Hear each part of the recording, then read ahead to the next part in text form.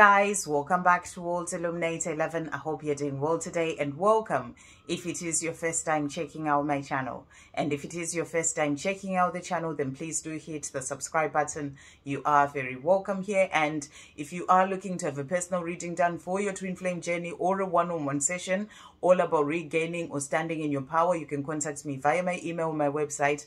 My details are in the description box below. So for this video, we're going to do a quick energy check-in. We're bringing in only two decks. We're bringing in the Tarot of the Celtic Fairies, with it being St. Patrick's Day and everything, um, to see what is going on with the Divine Masculines and we are bringing in the guardian angel um, the guardian angel tarot cards for the divine feminine to see what is going on. So we're going to check in to see. So thank you angels. What is going on with the divine masculines? What is going on with the divine masculines? Thank you angels. What is going on with the divine masculine so we've got a few cards here. And then thank you angels. What is going on with the divine feminines? What do we need to know? Wow really jumping out. Okay so let's see what cards have come out here for the divine masculines. I'm just going to turn these round so we can see what is happening here. Okay, so the first card that I can see here is the Ten of Stones. And the Ten of Stones is about burdens. And that's about releasing burdens, you know, needing to release burdens, to let go of the things that they are still sort of dragging, that are sort of pulling them down. So the divine masculines are in this place of working on releasing the burdens, the things that they're still holding on to. These can be fears, these can be coming situations in their life. You know, it's about working on releasing these burdens. And then they, the next card that has come out for them is the judgment card. And the judgment card, this is about sort of getting to the place of sort of looking at their life and just really realizing that, you know, they need to change. You know, things are not working out with all these burdens that they have that they're dragging around with them. You know, it's all just too much. They want to change in their life. You know, it's like a time of reflecting and just realizing that they're done with this life that is full of burdens and they want to change. So there is the judgment card that has come out for them as well. And then the next card that has come out is the Hierophant. And the Hierophant is really about being on their spiritual path as well. So you're being shown here that they are in these places. They're going through their awakening. They're starting to follow their spiritual path where they need to release the burdens, the things that they've held on to for a very long time. And, you know, that's why they're going through this time of reflecting on their life as well. And, you know, and just realizing that they need this change. So they are starting to follow their spiritual path. They may be following other people who are guiding them as well on who are already on this path, you know, who are like-minded people, who are the people who are guiding them on their path as well. And, you know, as they go through this time of change. So that's a powerful card to have come out. And the next card that came out is the Four of Swords. And this is about rest. So they may be taking some time to themselves as well. Some time to rest. We're getting closer to the weekend as well. You know, they may be just taking some time to rest and recharge, to reflect as well and think about things, you know, these burdens that they're carrying that they need to release, reflecting on their life. So they may be taking some time to just rest and think about things and, you know, reflect on their life as well, especially as they are in this place of change, you know, so that they can be able to move forward and release what needs to go and move forward towards the life that they desire. The next card that has come out for the Divine Masculines is the King of Spears. And the King of Spears is that uh, is the King of Wands. And that's about that loyalty as well. So you're being shown here that they have that loyalty towards you. can see there, there's like holding out like a little something. It's like your divine masculine offering you that loyalty as well. You know, really at the point of being, you know, coming out of the darkness and more into the light. So that's about that change as they're looking at their life, reflecting on their life, realizing that, you know, they don't want this life that is full of that darkness or the burdens that the things that they're carrying. And they are at the threshold of coming out of this, you know, as they're starting to go through the awakening with the Hierophant that came out, which is all about that change and moving forward on their spiritual path. It's like they're coming out of the darkness and they have that loyalty that they have that they're offering to you as well, their divine feminine. So powerful that that has come out. And the next card that has come out is the King of Cauldrons, and that's the King of Cups. So this is about the love that they have for you. So they may be quiet, you know, taking some time to rest, you know, uh, taking some time for themselves, but they are holding this cup of that love for you. So, you know, they are having this love for you. They may not be letting you know yet of the love that they have, but they are coming up as the King of um, of cups as well. So they are holding on to this cup of love. And that's about that loyalty as well that they as they are coming out of the darkness out of the life that they've always had you know moving more into the light moving more forward on their um spiritual path as well they are coming in to offer you that love that they have for you as well. And you know that loyalty that they also have.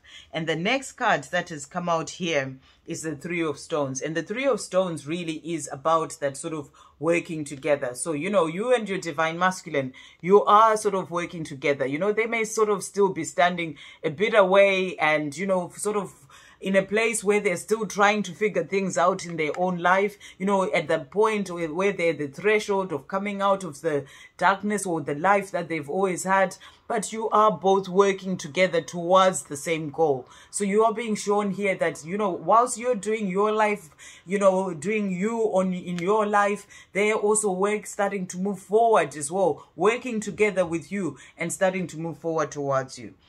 And then the next card that has come out is the Emperor. So you're being shown here that, you know, they are working on becoming the Emperor. They are starting to become who they're truly meant to be. And it's like, you know, they are moving forward towards this, becoming the Emperor. So really powerful that this has come out. You know, they are on their path and they are moving forward towards becoming the emperor and then that is what is leading them to you as well. So that's about finding the balance in all areas of their life as well and they're working on this. And the last card that came out is the six of cauldrons and that's about the past coming back. So they are going to be that past that comes back to you their divine feminine. You know they are the thresholds of coming out of this life that they've always had. They are moving forward towards you. They have that cup of love for you and they're going to be be that past that is coming back to you because right now they are reminiscing even during their time of sort of taking time for themselves and resting and you know, recharging, reflecting on their life. They're also thinking about the times, the good times that you've shared. And, you know, they are wanting to be the past that comes back because they want that life with you. They're tired of this life, of the burdens, things that they've been holding on to that are really not helping them or bringing them fulfillment and success in their life. So they are wanting a change and they are thinking about the good times that they've shared with you and they're wanting to be the past that comes back to you. And then the cards that came out for you, the Divine Feminine. So the first one is inner strength. So you're being asked to have that inner strength, that strength to keep moving forward. You have great courage and kindness. You may not realize how strong and powerful you are, but there is no problem you can't solve. The compassion you so freely give to others must also be given to yourself. Stand strong in your convictions. If the right if the right answer to tell someone is no. So if you need, if you are feeling that you need to say no to someone, then stand strong in that. You know, be in your power as a divine feminine. And you know, the compassion that you give to yourself, that's about that inner strength, you know, operating from the place of love where you have that compassion and kindness and understanding and give all that to yourself as well. So that's the message that's coming through. So that's about your strength to keep moving forward as well. When it comes to your journey, having that compassion towards your divine masculine because they're working on becoming the emperor and they are working on releasing the burdens and coming out of the darkness or the life that they've always held, uh, lived. And you know and they it takes time and you know it's about having that that kindness and compassion towards them as well. And then the next card that has come out for you is out with the old and in with the new.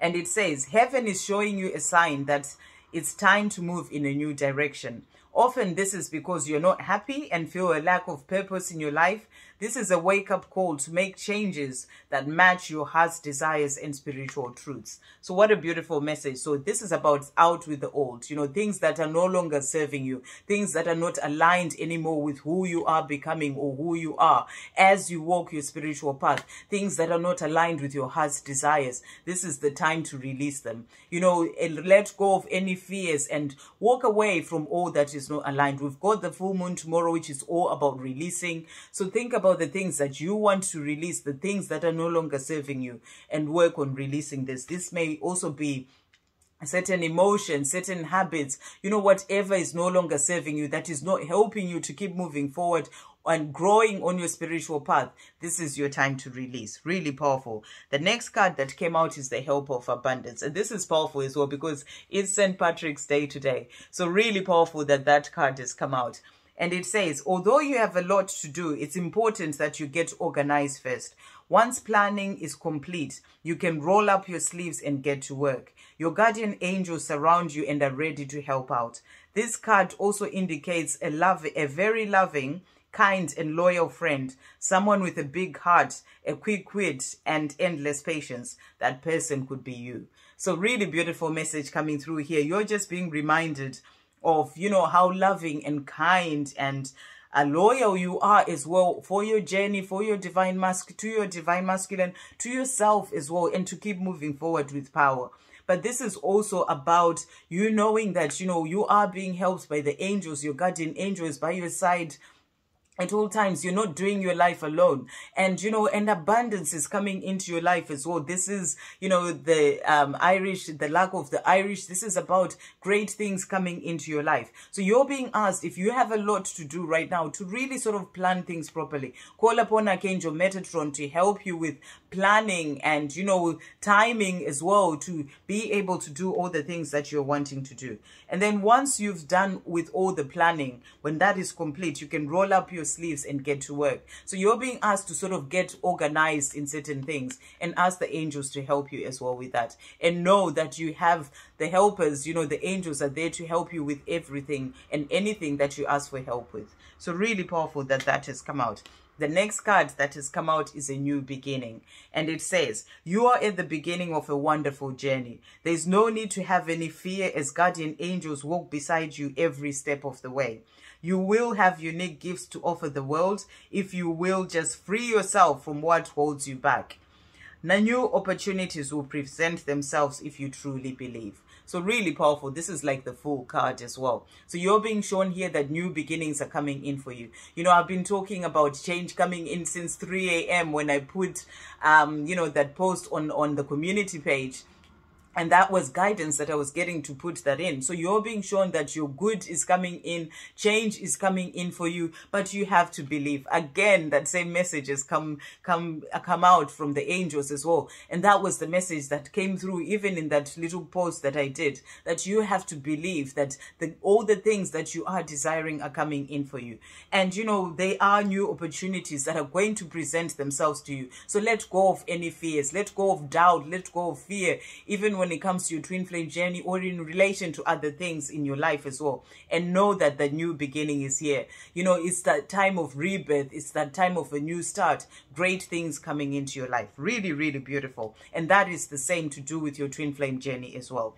And the last card that came out for you is successful completion. And he says, this is a time of incredible accomplishment. You're justified in feeling joy, a sense of completion and pride in the amazing job you've done. You've been blessed with many spiritual insights. Soon you'll begin a new journey, but for now, take time to bask in the happiness of your dreams coming true. So really powerful. You're being shown here that that's that completion is coming in. You are going to have the world, you know, and all the things that you desire are coming in for you. And you know, and also just look and see how far you've come on your journey, and you know, and not give up now because you've come such a long way in your own healing, in your own life and you know and be grateful for how far you've come. Feel good in yourself about the work the hard work that you've put in and know that, you, that all that work that you're putting in is also being recognized by heaven. So you're being shown here that you know you've achieved so much in your life right up up to now as you're moving forward on your spiritual path. And you know and that is going to bring in all that you desire.